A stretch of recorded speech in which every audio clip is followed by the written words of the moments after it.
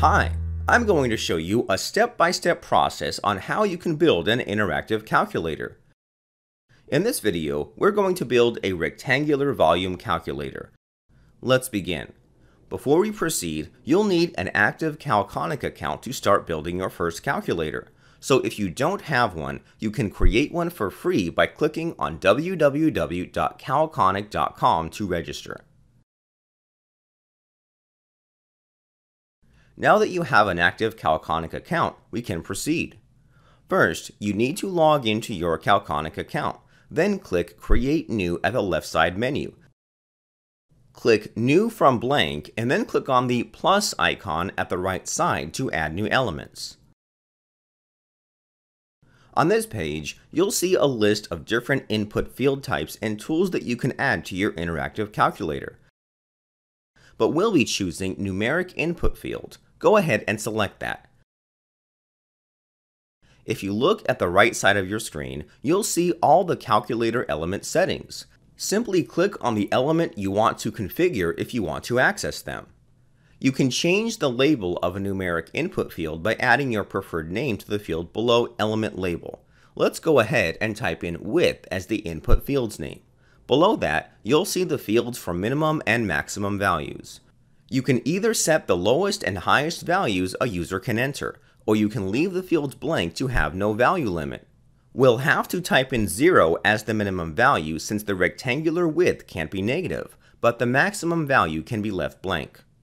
You might want to let your visitors know what kind of data you want them to enter, so you can add a prefix or postfix to your field.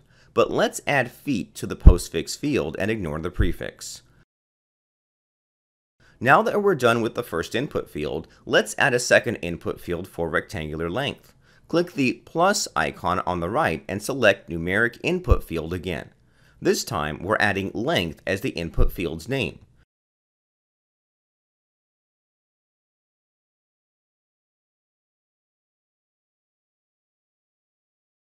We'll set the minimum value as 0 and leave the maximum field blank.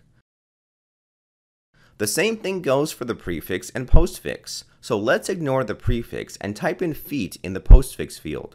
We're done with the second input field. To add a third input field for rectangular height, click the plus icon, and this time we're choosing slider. It's not a typical input field for a volume calculator, but you need to see how different types of input fields can shape your interactive calculator. Let's name the input field height at the element label. We'll set our slider's range by adding minimum and maximum values. These fields can't be blank for the slider. So let's enter 0 as minimum and 1000 as the maximum value.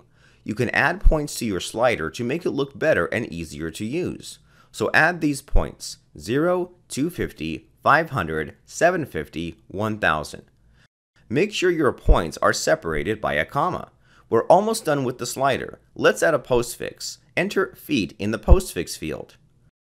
Okay, so we're done with all the inputs. Now let's work on the outputs. Click the plus icon on the right and select Formula. Name your formula field by adding these texts rectangular tank volume to the element label input field. Every single element of a calculator gets its own ID that has a hashtag and a unique number. So we're going to add this formula to the formula editor input field number 1 star, number 2 star, number 3, where number 1 is for the width, number 2 is for the height, and number 3 is for the slider. We got that formula from the conventional formula for finding the volume of a rectangular prism, which is volume equals length, height, width. We'll finish up with customizing the formula element by adding a postfix. Now click on the gear icon at the right back and add your preferred title to the input field below the calculator title label. Click on Save. Now your interactive calculator is ready to be embedded to your website.